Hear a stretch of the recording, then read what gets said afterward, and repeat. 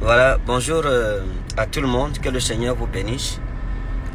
Et je fais cette vidéo juste euh, à cause de l'urgence du temps. C'est pas le lieu indiqué pour faire euh, un direct sur Facebook. Mais je fais ce direct pour annoncer tout simplement deux mesures que notre ministère a prises. Et la décision après ces mesures que mon épouse et moi nous avons prises. Voilà, nous avons lancé l'opération Covid-19. Nous nous sommes dit, ma femme et moi, et les leaders de Rema Ministry Mission, dans des temps comme ceux-ci, l'Église doit voler au secours de ses brebis, de ses membres, de ceux qui la constituent. Et donc, euh, à l'Église, nous avons trois couches de personnes, trois couches de brebis. Il y a celles qui sont riches, qui n'ont pas besoin de soutien en ce temps dû au confinement à cause du Covid-19 et au ralentissement des activités et de beaucoup de personnes qui ne sont plus à mesure de travailler parce qu'elles sont en congé technique. Et donc l'Église devrait réfléchir sur euh, ce qui la concerne, sa contribution par rapport à ces situations, au-delà de la prière, au-delà des conseils spirituels. Il faudrait poser un acte concret tout le monde essaie de faire quelque chose de concret pour faire avancer la société. Le gouvernement camerounais a engagé d'ouvrir comme ça une caisse de solidarité nationale pour venir au secours aux gens. Mais les églises aussi, l'église doit aussi s'élever pour participer, pas seulement s'arrêter au niveau de la prière.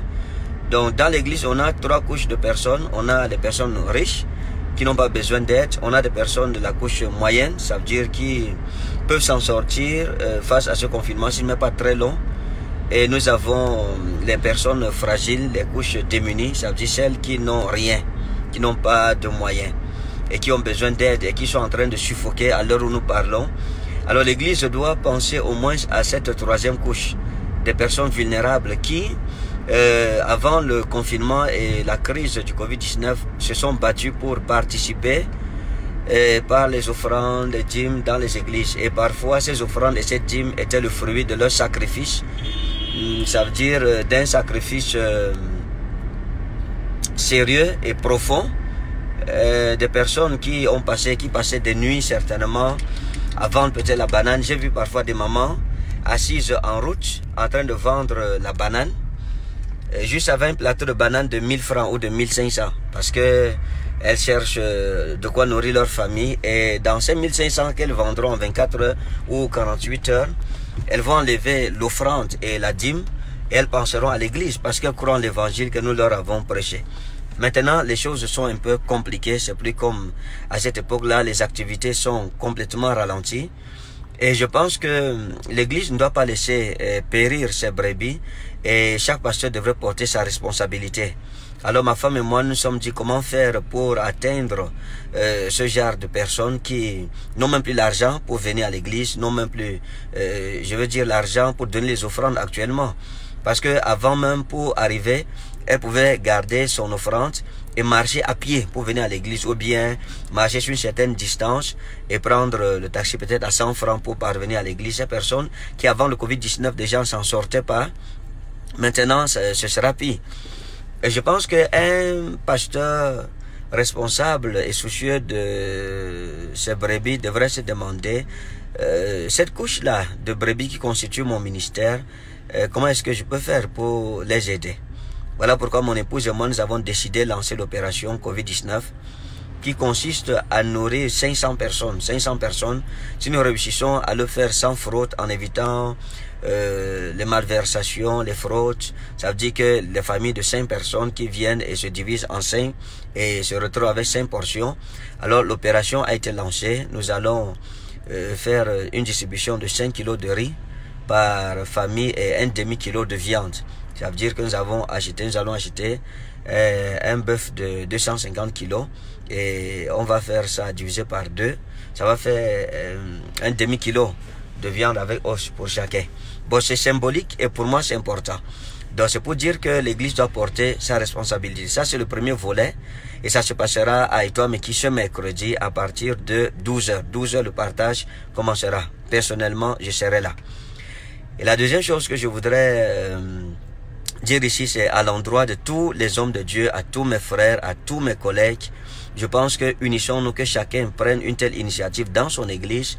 Les brebis, nous avons prié pour elles depuis, nous avons donné des conseils spirituels, nous avons prophétisé sur elles. Je pense qu'à l'heure où nous sommes en train de parler, il y a une question de crise alimentaire. Et l'église ne doit pas s'arrêter seulement au niveau de prier, de prêcher, de prophétiser. L'église doit donner à manger à ses brebis.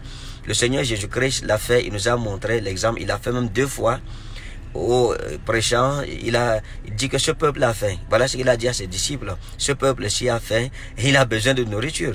Donnez-leur à manger. Les apôtres ont dit, on n'a pas et j'ai déjà multiplié le pain tout. Donc, comme euh, j'ai pas pu multiplier le pain, j'ai quand même l'argent pour acheter. Je vais acheter le pain je vais acheter le poisson. Donc, pour dire que chaque pasteur, il est temps de poser un acte au-delà de, de l'acte spirituel la responsabilité de l'Église n'est pas seulement spirituelle.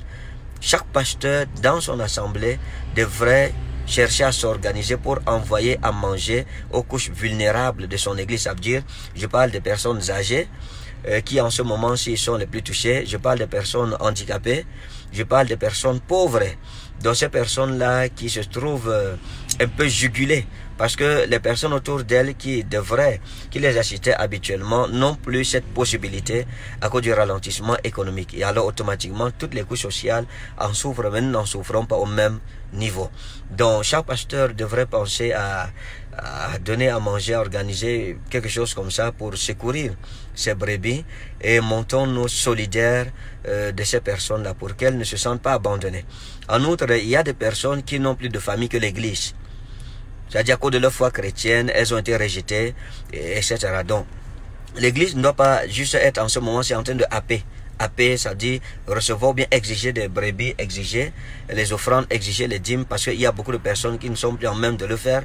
Et cependant, bénissons Dieu pour celles qui sont capables de le faire et qui continuent l'adoration et la présentation de leurs offrandes. Mais je pense qu'une partie de ces offrandes, une partie de ces dîmes devrait retourner, réinvestir euh, dans la vie de ceux qui en ont besoin, qui ont besoin d'un secours actuellement, qui ont besoin d'un peu de riz, qui ont besoin d'un peu d'huile, qui ont besoin d'un peu de poisson, qui ont besoin peut-être euh, des morceaux de viande, etc.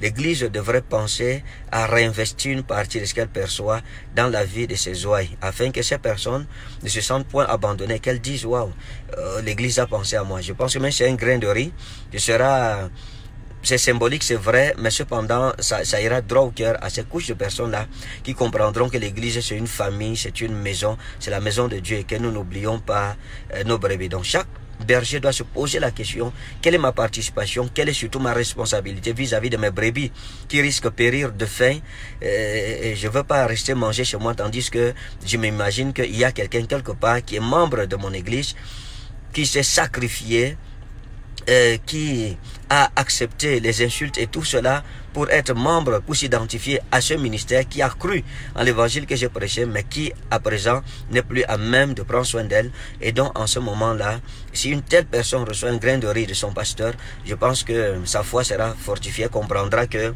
l'évangile c'est pas seulement la théorie, mais l'évangile en temps de crise c'est aussi la capacité pour un pasteur, un homme de Dieu, de venir au secours de ses brebis de façon concrète sur le plan financier ou sur le plan matériel dans ce mercredi, par la grâce de Dieu, euh, nous serons à Etoile Meki. il y aura distribution de la nourriture. Nous sommes aujourd'hui samedi 18 avril.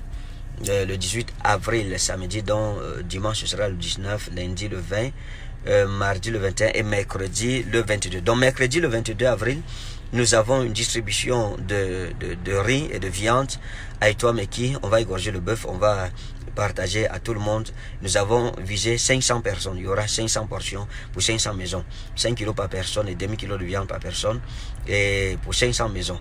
Donc je vous exhorte à être intelligent et à ne pas frauder.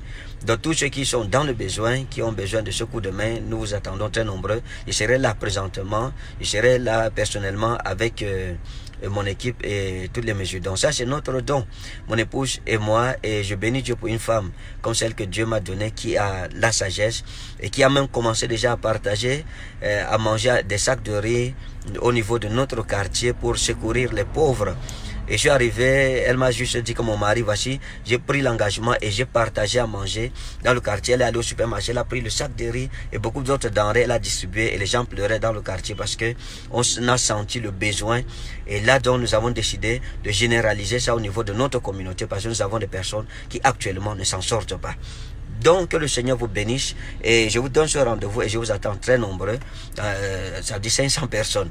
Et dans la discipline euh, la plus rigoureuse. Et je, dis à l'administrateur général de l'Église de prendre la, sa responsabilité en main pour que tout se passe de la plus belle façon. Que Dieu vous bénisse euh, et que sa grâce qui sera bon sur votre partage. N'ayez pas peur, nous allons traverser cette épreuve sans, sans, sans que les brebis de cette bergerie ne meurt du Covid-19. Mon Dieu est vivant. Il a dit, Ego Je suis la résurrection et la vie. Si quelqu'un vit et croit en moi, même s'il était mort, il ressuscitera vivant. Que le Dieu, le vivant, le témoin fidèle qui est dans le ciel, prenne soin de vous, qui vous garde et qui pourvoit à tous vos besoins, qui préserve vos vies et les couvre par son sang précieux. Shalom, shalom, shalom.